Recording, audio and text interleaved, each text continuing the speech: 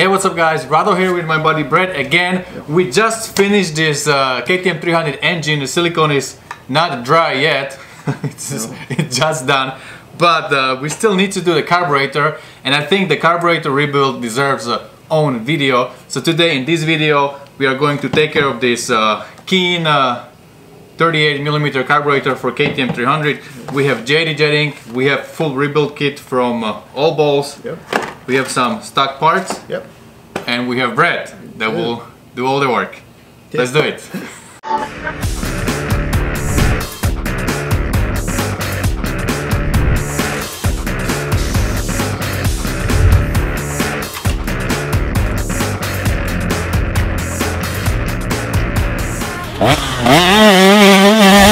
All right, here we're putting together Rado's carburetor.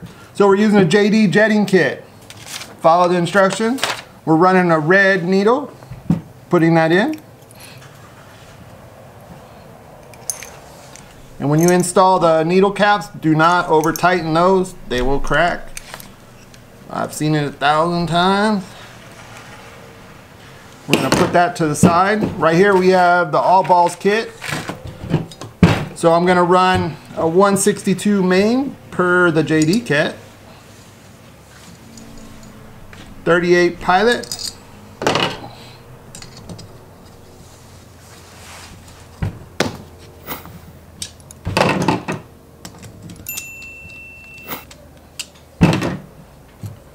New needle, seat, float.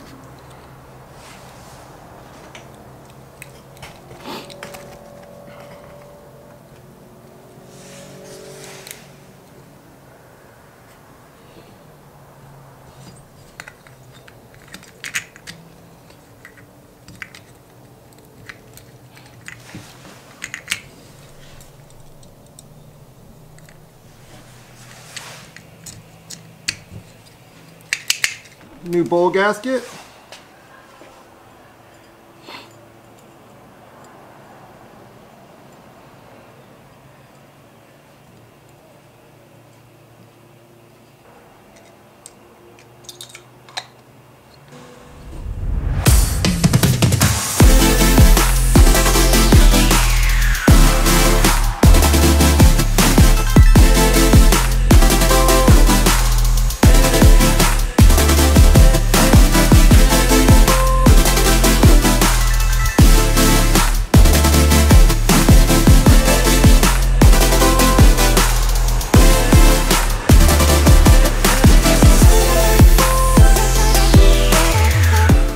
For the air screw, make sure that you first start with the spring, then little washer, and then at the end you put this little o-ring. And that's how you install the air screw into the carburetor. The carburetor looks really nice, all hydroblasted and cerakoted. Motoblasters from Florida, you can check them out at motoblasters.com. They did all the work. Guys, if you have somebody hydroblasting your carburetor, make sure they know what they are doing and make sure they're gonna clean all the media from the carburetor because there is a lot of fine particles uh, in that hydroblasting and they can get stuck in uh, different places so just make sure that everything is nice and clean when you put it back together.